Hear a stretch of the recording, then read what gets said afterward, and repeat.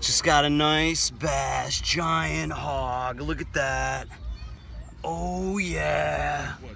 Woo! Putting them on the scale. I caught a one that was just shy of 12 inches. 17. Really? Nice.